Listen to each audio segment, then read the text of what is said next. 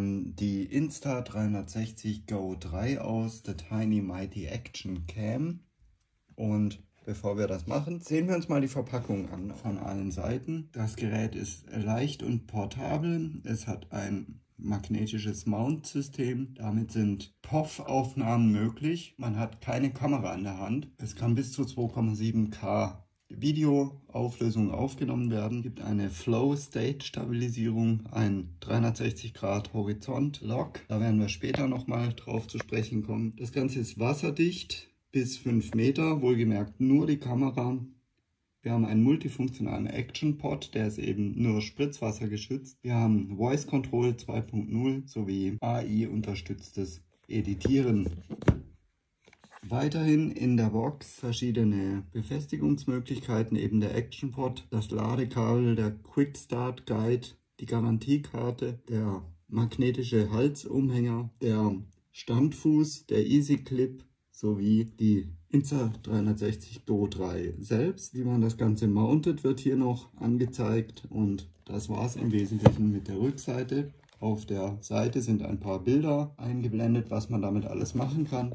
Und damit haben wir das Ding einmal durch. Unten steht nochmal Insta360 und oben steht das gleiche auch nochmal. Nachdem wir die Klarsichthülle entfernt haben, das habe ich schon mal gemacht, können wir hier den Karton einfach öffnen, indem wir den langsam nach oben ziehen. Das ist relativ edel gemacht, ist nur mit einer Hand ein bisschen schwierig. Jetzt habe ich es geschafft und so präsentiert sich die Kamera. Think Big das hier ist die Kamera, die ist ja einfach mit einem Magnet festgemacht. Die Kamera ist wirklich winzig, bisschen größer wie ein 2 Mark Stück. Da ist sogar ähm, noch eine Schutzfolie auf der Kamera mit drauf. Wir haben hier unten einen Knopf, so viel ich weiß, auch wenn man den nicht sofort sieht. Und das ist das gute Stück. Hier hinten noch ein paar Sicherheitshinweise. Und dann schauen wir mal weiter, was da noch drin ist.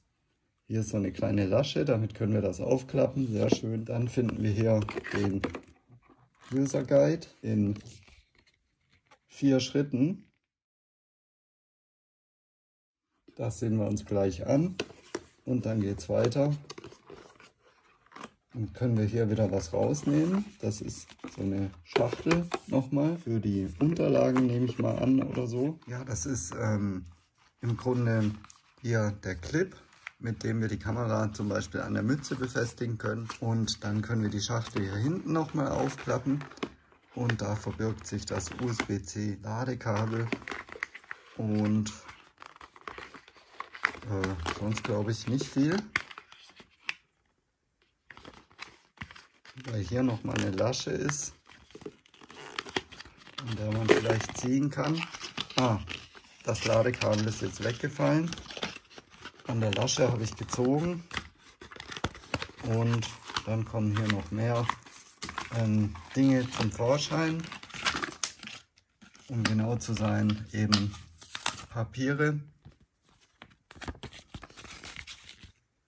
Quick Start Guide. Aha, das ist der Quick Start Guide. Dann haben wir hier ähm, die Magnethalterung zum Umhängen, glaube ich. Kommen wir noch zu. Außerdem gibt es hier Sicherheitsrichtlinien, einen Aufkleber oder sogar zwei,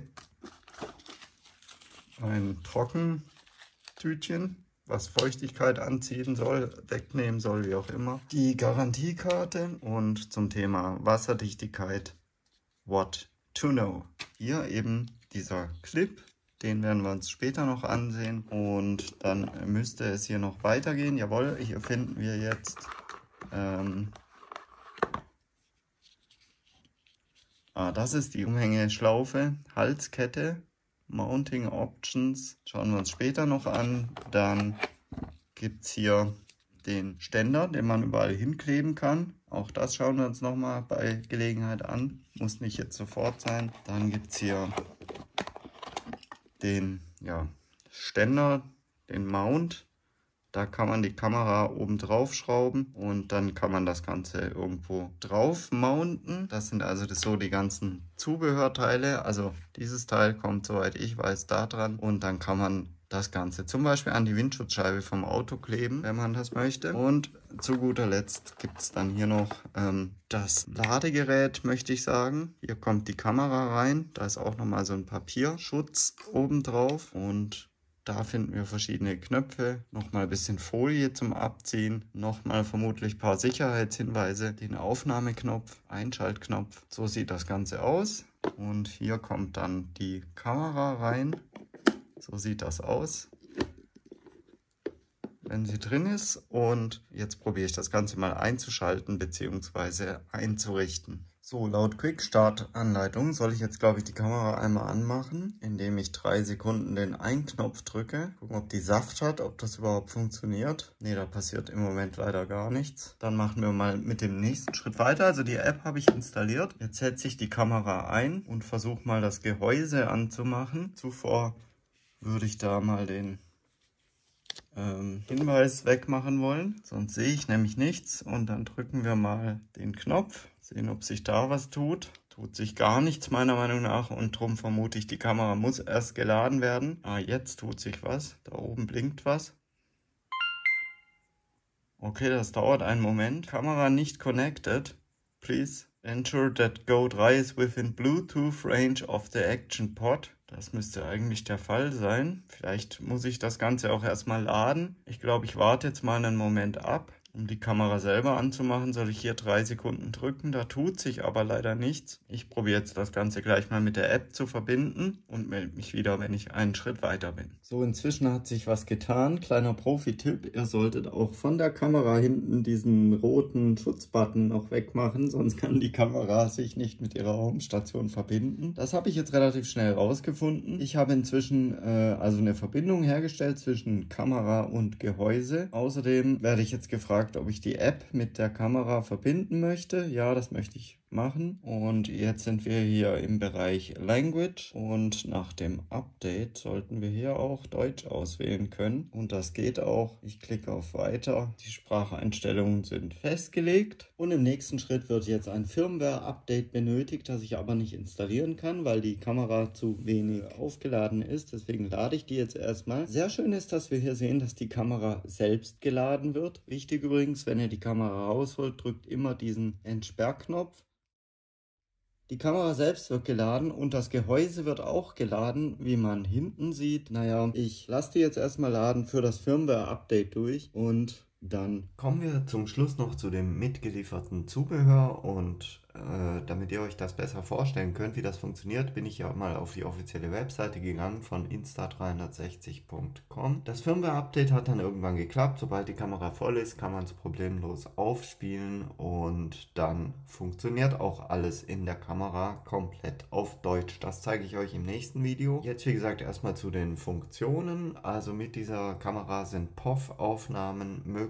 POV heißt übrigens Point of View. Eine wahre Freihandkamera. Werde komplett freihändig, einmal befestigt, musst du dir keine Gedanken mehr machen und filmst ganz einfach ultraweite Point-of-View-Aufnahmen in 2,7K. Und so funktioniert eben dieser Anhänger, dieser diese Halskette, die ich euch vorher erklärt hatte, das funktioniert beim kleinen Kind oder beim Angeln oder beim Kajakfahren oder beim Radfahren. Überall, ihr habt die Hände frei und durch den starken Magnet hält das Ganze bombensicher.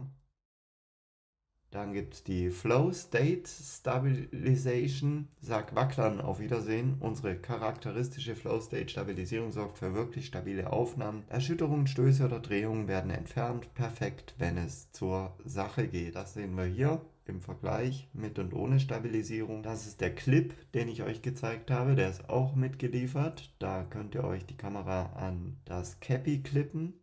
Dann gibt es eine Horizontsperre für perfekte ebene Horizonte. Mach eine Drehung um die eigene Achse. Der Go 3 macht das nichts aus. Die unschlagbare Nivellierungstechnologie sorgt dafür, dass dein Video gerade bleibt, egal was passiert.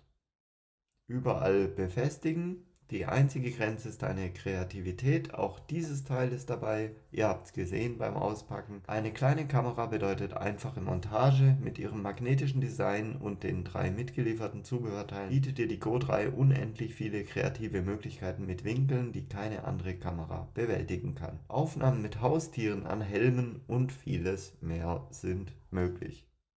Super leichte Aufnahmen mit Quick Capture also wo man per Sprache die Kamera steuert. Auch das ist möglich. Und damit sind wir durch für dieses Video. Ich bedanke mich für euer Interesse. Vielen Dank fürs Zusehen. Hinterlasst mir gerne einen konstruktiven Kommentar, Abo oder Like, wenn euch das Video gefallen hat. Und dann sehen wir uns im nächsten Video wieder. Im nächsten Video zur Insta360 Go 3 werde ich wohl mal ausführlich die Einstellungen mit euch besprechen und was ich bisher so damit gemacht habe. Bis dahin, macht's gut. Danke fürs Zusehen. Bis zum nächsten Mal und